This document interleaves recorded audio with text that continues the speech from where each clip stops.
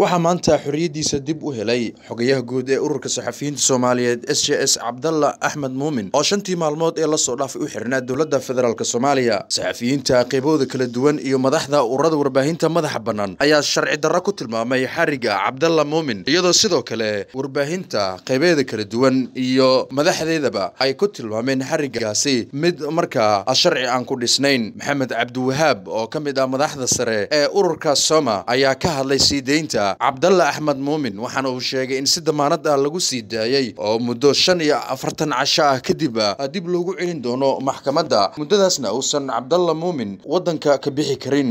Maanta sidii ballantay ahaydba waxaan hor tagnay maxkamaddii gobolka banaadir oo lagu ballamiyey kiiskii cabdalla axmed muumin xogayaha s j s.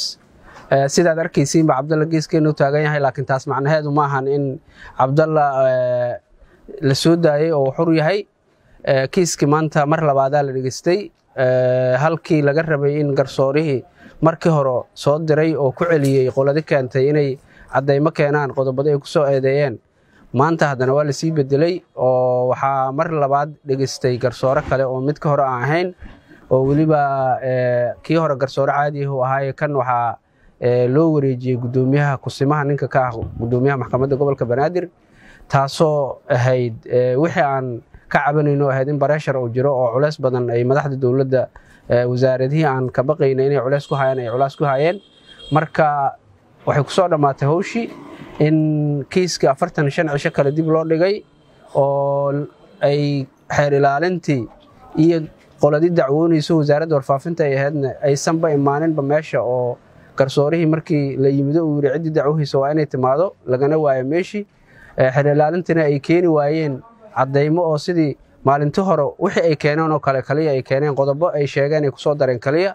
Laakiin wax caddaymo way keeni waayeen. Marka waxay codsadeen in dib loogu dhigo sidii aan awalba ka walaacsanayn marka garsoorihii wuxuu dib u dhigay inuu maanta go'aan gaaro. Marka ilaa afartan shan cisho muddo ahuu siiyey taasoo macnaheedu yahay in cabdalla axmed muumin afartan shan cisho kale uu xabsi ku sii jiri doono xorriyad la'aan uu noqon doono. Marka sidaasay ay ku soo dhammaatay maanta cabdalla hadda wuxuu noola taagan yahay si damiinahan ku soo daynay laakiin waa maxbuus oo wuxuu la mid yahay qof xiran oo kale. Kaliya damiinuu bannaanka ku joogaa laakiin maxkamaddii ilaa hadda ma qaadin wax go'aana oo xukunkii afartan shantaas cishay dib u dhigtay.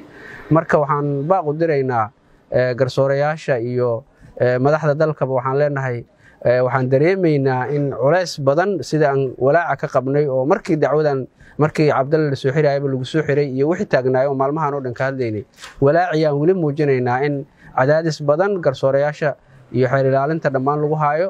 Marka waxaan codsanaynaa cabdalla sida aan ognahay si sharci darraa lagu soo xiray wax dembiya ma laha wax uu galya ma laha. Waxaan codsanaynaa marka in kiiskaas laga daayo siyaasadda iyo culayska faraha badan ee madaxda dalka qaarkood ay ku haayaan. Maalmahaan oo dhanan sheegayna inaan magacyo sii sheegno ama hay'ada aan sii xusxusno uma baahnin marka waxaan leenahay kiiskan waxaan rabnaa inuu si cadaalada ku dhammaado. Walaaca u weyn oon qabnana waxa waaye in afartan shan cisho kale aan sii sugayno oon la ogeyno afartan shan cisho marka la gaaro waxa dhici doona haddana aan weli walaac ka sii qabno. Marka waa mahadsantihiin waana ku mahadsantihiin saxaafadda ka soo qaybgalkiina iyo garab istaaggiina aad noo muujiseen. Ilyas dawda xasan star t v muqdisho. Ka farxi ehelkaaga asxaabtaada iyo qaraabadaada. Oo la soo deg abka dahabshiil si aad si fudud lacag ugu dirto.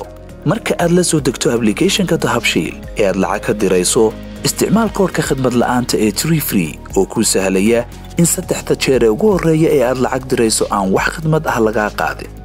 Dahabshiil howlfudaydiyahaaga maaliyadeed